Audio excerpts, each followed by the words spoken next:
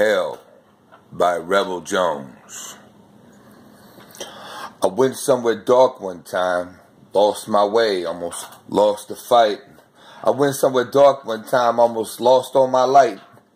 My anger and rage was fierce inside. I got stuck in the devil's side of my mind. It's a never ending darkness in this box packed with true terror inside. No windows of opportunities except the long way back to the light. No doors to walk through. You have to dig through the archives, of your own traumatic tragedies that you buried in your life. Remember and relive moments you're not proud of, things you swore you'd never speak of. You have to smell the carnage of every deceitful act and lie that ever be manifested. This here is where your spirit gets tested.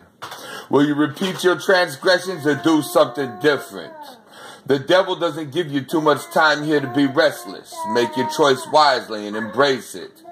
Use your spirit as a guide in the light one day again you will taste it in your mind's thoughts. That's the spirit spoken language.